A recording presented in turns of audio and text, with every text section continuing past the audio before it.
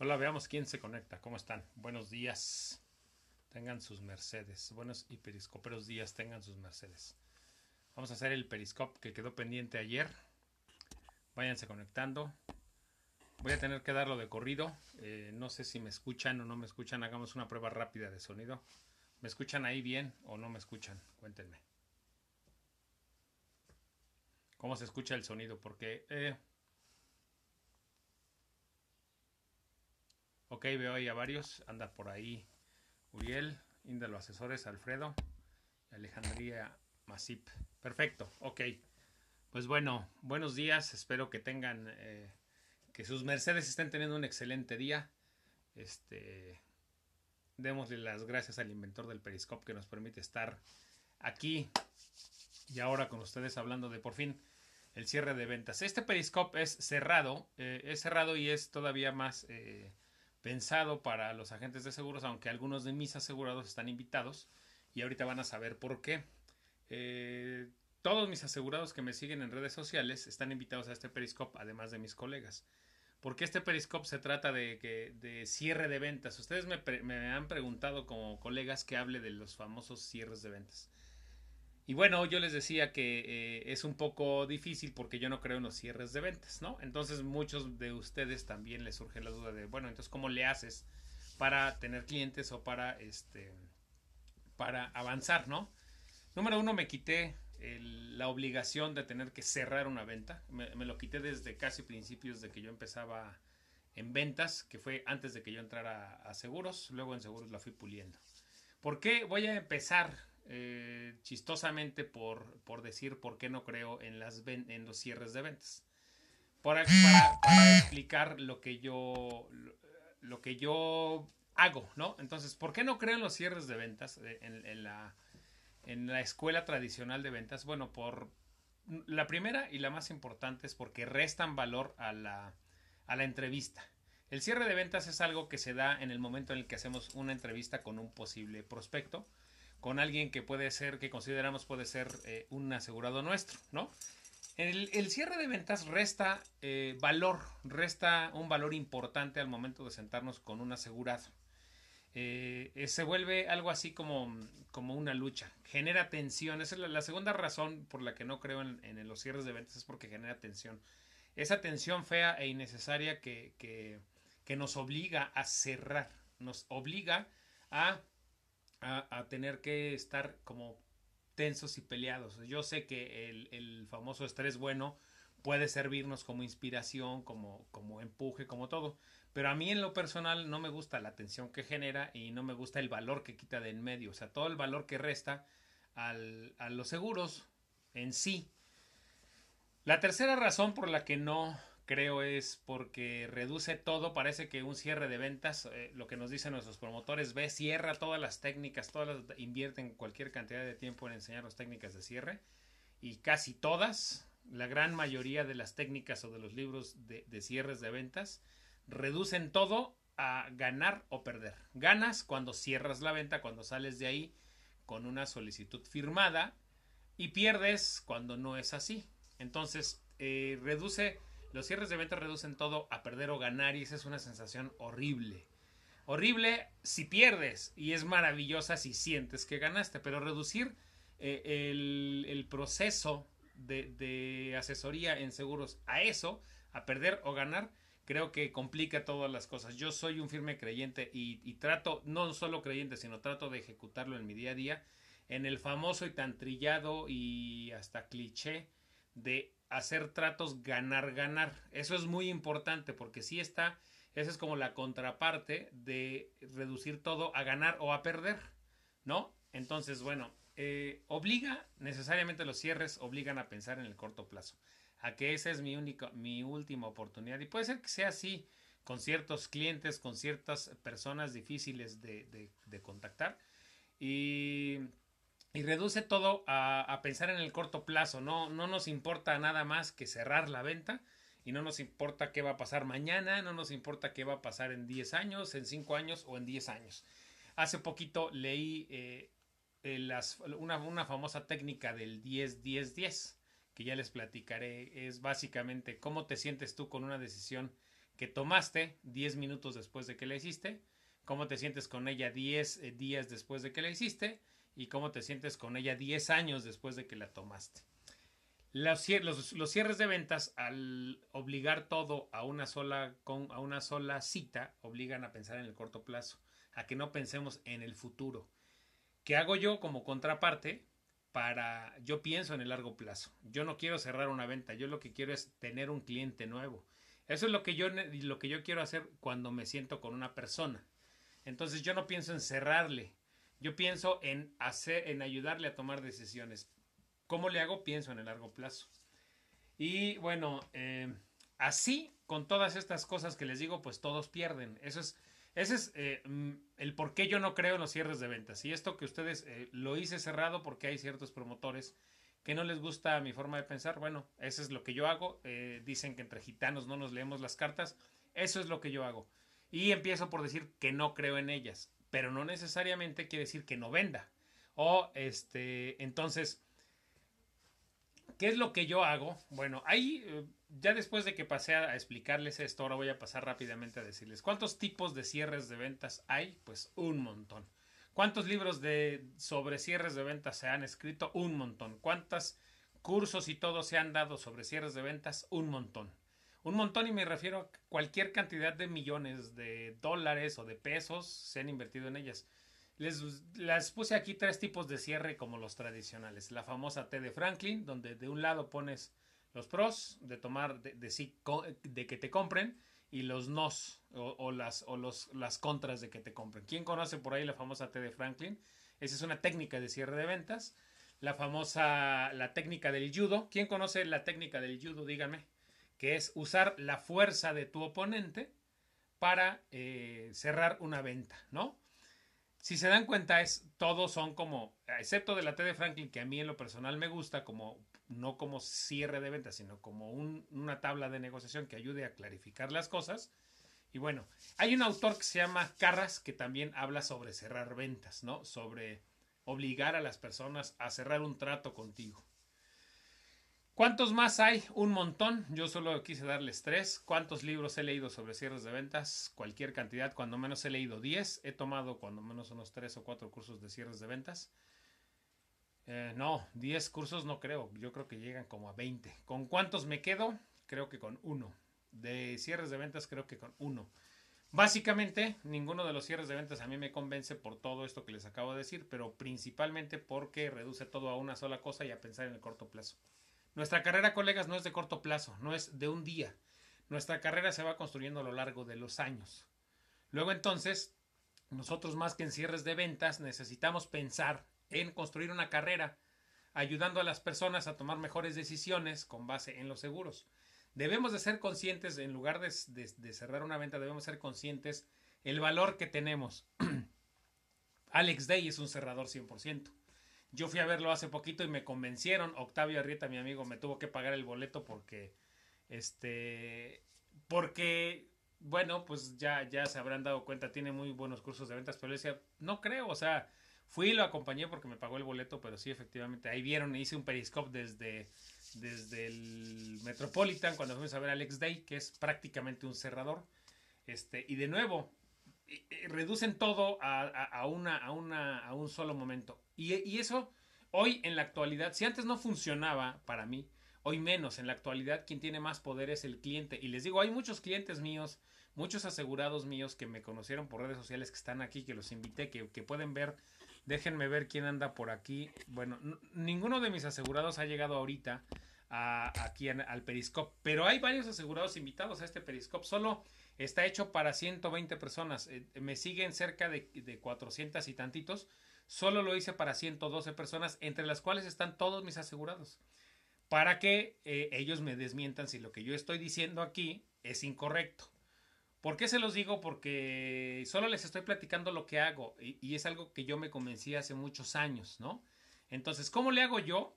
Creo valor. Se dan cuenta que lo primero que no me gusta es que resta valor bueno, ¿qué es lo que yo hago? Es empiezo a crear valor. Me preguntaba Pat el otro día por Twitter que, que cómo le hago yo, eh, que si nada más tengo clientes por internet. Pues sí, básicamente hoy la mayoría de mis clientes eh, vienen eh, por todas las estrategias que hago por internet, pero el primer punto y el más importante y todo lo que yo me preocupo es crear valor. Eh, pues mira, hoy el cliente, hoy vivimos la era del cliente. Piénsenlo de esta forma. El cliente es el que tiene la información. Eh, Germán, que por aquí andará al ratito, que Germán me conoció por eh, Periscope justamente. Germán se convirtió en nuestro cliente, pero Germán ya tenía toda la información de lo que él necesitaba. Hoy estamos viviendo la era del cliente. Ellos tienen cualquier cantidad de información. Lo que nosotros debemos hacer y lo que yo hago, eh, estábamos en lo que yo hago es crear valor. Todo el tiempo estoy viendo cómo crear valor para ustedes. Este Periscope, si ustedes ven el mapa mental, este Periscope, ¿por qué lo retrasé hasta hoy? Porque ayer eh, se cortaba, porque ayer no tiene caso que yo lance una cosa que no va a crear valor para ustedes. Este Periscope, hoy en la mañana invertí cuando menos media hora al caminar para estructurar de qué les iba a hablar y otra media hora eh, al poner mi mapa mental que se los voy a mandar completo, siempre se los comparto. Cuando menos invertí otra media hora para darles algo de valor. Eso es lo mismo que yo hago con mis asegurados. Eso exactamente, todo el tiempo estoy creando valor a través de las redes sociales a través de Periscope, a través de YouTube, a través de Twitter, a través de mi blog, a través de un montón de, esfuerzos que nosotros estamos haciendo. Estoy creando valor para las personas. ¿Y cómo creo valor para las personas?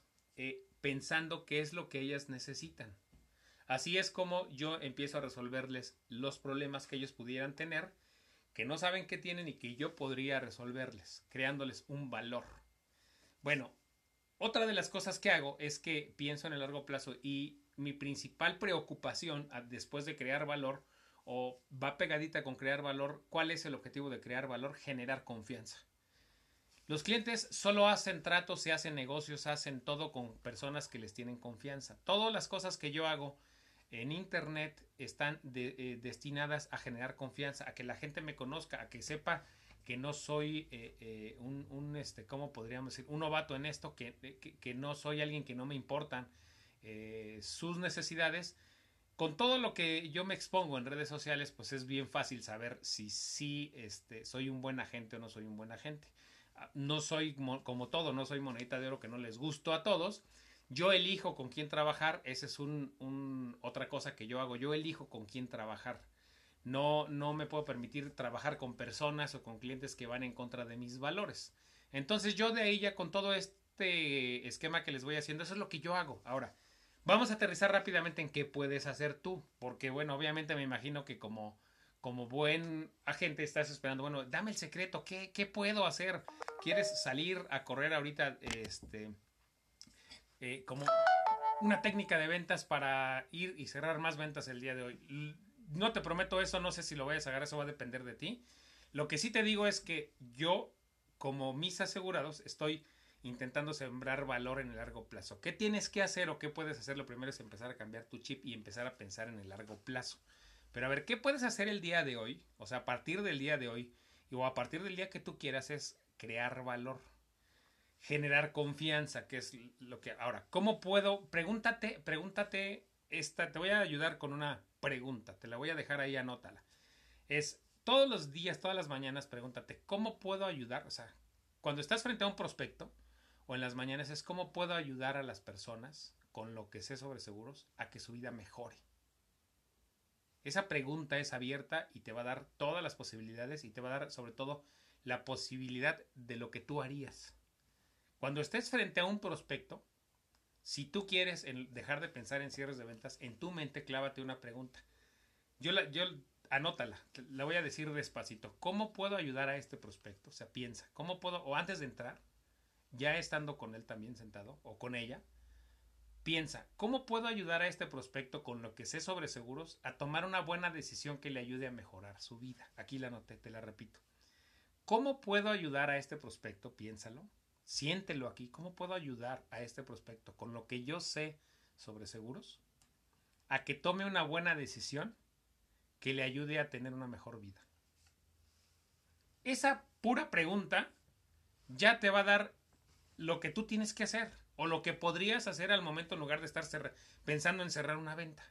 Te vas a dar cuenta que tu diálogo cambia, que tu diálogo al momento de estar con él eh, eh, ya no estás haciéndole una serie de preguntas innecesarias. Le vas a hacer preguntas que te ayuden a conocerlo mejor. Esa es otra cosa que te puedo decir. Hazle muchas preguntas que sean valiosas. Que sean valiosas para que te ayuden a... Esas preguntas tienen que ir relacionadas a algo que te ayude a conocerlo mejor. A ver, ¿qué es lo que a usted le gusta? ¿Qué haría usted con un millón de dólares en 10 años? ¿Qué haría usted con un millón de dólares a los 65 años? Dígame, ¿qué es lo que más le preocupa en el futuro? ¿Le preocupa la educación de sus hijos? ¿Le preocupa crear un patrimonio? ¿Le preocupa el retiro? Y escúchalo abiertamente. Esa no es una técnica de cierre, esa es una, una cosa que tú puedes hacer hoy con el prospecto que tengas en la cita de hoy. Hazle preguntas, obviamente si, tienes, si las tienes preparadas muchísimo mejor, haz preguntas que te ayuden a conocerlo. Y con esta pregunta de cómo le puedo yo ayudar con lo que sé sobre seguros, todo se va a ir acomodando. Si tú has visto alguna vez el programa de, el de César Millán, el del encantador de perros, yo uso una técnica o algo que él usa. Él dice, ¿cómo le haces para hacer magia con, con, con los perros o con las personas que tienen los perros? Y él dice, cada caso para mí es distinto. Lo único que hago es yo llegar vacío y pensar cómo puedo yo ayudar a esta familia. Antes de entrar, cómo podré yo ayudar a esta familia. Y cuando ya estoy con ellos, cómo hago cómo podré ayudar. Cada caso es diferente. César Millán no va preparado. Yo tampoco voy preparado a una cita. En ese sentido, no, no voy preparado. Lo, lo que sí voy es a ver en qué puedo ayudar a esta persona que voy a ver. De acuerdo a sus necesidades y de acuerdo a lo que él le preocupa. Con lo que yo puedo hacer con seguros. Eso es lo que tú sí puedes hacer a partir de hoy. Empieza a pensar en el largo plazo. Empieza a pensar que en lugar de cerrar una venta, vas a obtener un cliente. Es algo, un pensamiento importantísimo. Métete aquí que es preferible tener un cliente y que entre más clientes tengas en el, en el largo plazo vas a vivir mejor tanto tú como ellos. Hay una frase que yo, que yo uso, eh, la de haber dicho Zig Ziglar o alguien de, que dice, yo, en lo personal, mi lema, si es que hubiera un lema, es quiero ser rico ayudando a ser rico a otras personas obviamente por medio de mi trabajo, ¿no? ¿Qué más puedes hacer en los cierres de ventas? Obviamente eh, hay un montón de técnicas, pero la que yo uso mucho es, te digo, preguntas que me ayuden a conocerlo. Prepárate preguntas previas. Otra cosa que puedes hacer para los famosos cierres de ventas es conoce a tu asegurado antes de ir a verlo. Hoy hay un montón de lugares donde que te pueden dar información sobre qué, qué hace, quién es. Eh, métete a Google si está ahí en Twitter eh, fíjate qué hace, qué le gusta, qué no le gusta, cuáles son sus preocupaciones. Todo ese tipo de cosas que te ayuden a conocerlo te van a permitir ayudarlo. Esa información que tú obtengas de él eh, de conocimiento previo, úsala para ayudarlo a tomar una buena decisión. Ambos pensamientos van pegados. No la uses para cerrar una venta. Usa para convertirlo en tu cliente y demostrarle cómo le puedes ayudar. ¿Sale?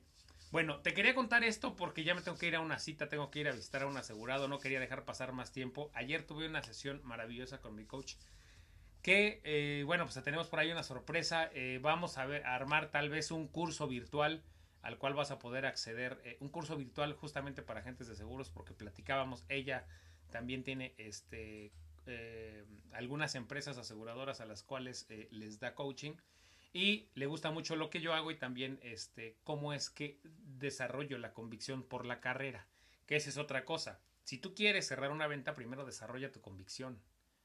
¿Sí? O sea, si, si tú quieres eh, desarrollar una convicción por lo que haces, una convicción por tu carrera. Si no tienes convicción, va a ser bien difícil que cierres una venta. Vas a poder cerrar una, dos o diez ventas, pero no vas a poder crear una carrera.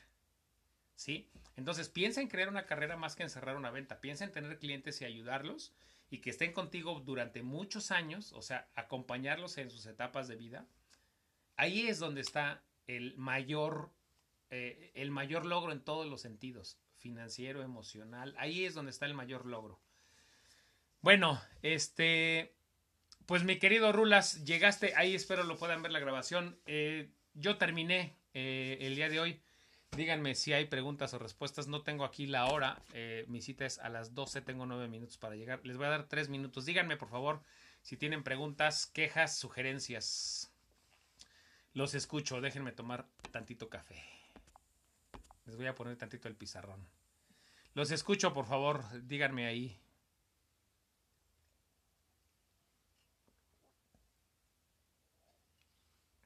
Pues mi querido Alfredo, este, nosotros como agentes de seguros, más que reflexiones, esto es un estilo de vida que tenemos que hacer.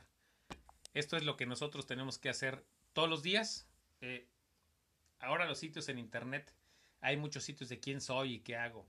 Ahora que hablaban de Alex Day, una cosa que no me gusta y que se le dije a mi amigo es que Alex Day dice todo lo que él ha hecho. Eso es menos importante si yo no te digo lo que puedo hacer por ti. Yo a mis asegurados les digo, eh, ¿quién soy? Pues lo podrás investigar en internet. ¿Qué he hecho también? Pero ¿qué puedo hacer por ti? Bueno, ahí, ahí me escuchas mejor. A ver, ahí creo que me voy a, dejar. Les decía una frase, ¿qué soy? ¿Qué soy? Es lo menos importante, tú ya lo podrás investigar, pero lo más importante es, ¿qué puedo hacer por ti? Piensa, eh, actúa, habla así con tu asegurado, o sea, primero piensa, luego sácalo de aquí del corazón, piensa, bájalo al corazón y luego háblalo, dilo, y vas a ver que todo lo demás es fluir. A mí no me... Yo lo que busco es lo que se conoce en cierres de ventas como un cierre natural, que es resolver todas las dudas detalladamente, sin prisa, y el asegurado tiene que decir o lo que viene después, si tú hiciste un buen trabajo, es qué sigue, dónde, qué tenemos que llenar, qué tenemos que firmar, en lugar de estar pensando cómo le saco la firma, cómo le saco los datos de su tarjeta, cómo le saco todo, ¿no? Bueno, cuídense mucho, tengan un buen día y bueno, si les gustó, coméntenme en Twitter, por favor. Este, no voy a tener mucha oportunidad eh, las próximas dos horas de andar por ahí en redes sociales. Voy a lo que más me gusta, estar frente a un asegurado, a renovar, a ver su plan anual de seguros y me, bueno, me encanta. ¿Y qué te pareció? ¿Qué te pareció, mi querido Uriel? Espero que te guste. Eh, te va a volar la cabeza, ¿eh? O sea, abusado porque si no estás preparado vas a poder hacer locura sin estar. Bueno, cuídense mucho. Tengan un excelente martes. Nos vemos al ratito. ¿A qué hora? No lo sé. Esténse allá al pendientes en Twitter. Pero espero sí hacerles un periscope más tarde. Eh, obviamente más dirigido a mis asegurados. Pero bueno, ya hicimos el primer periscope exclusivo para mis eh, colegas, mis amigos colegas. Y bueno, por aquí llegará algún algún este algún asegurado que podrá ver este periscope de los que están invitados. Cuídense mucho. Nos vemos al ratito. Bye.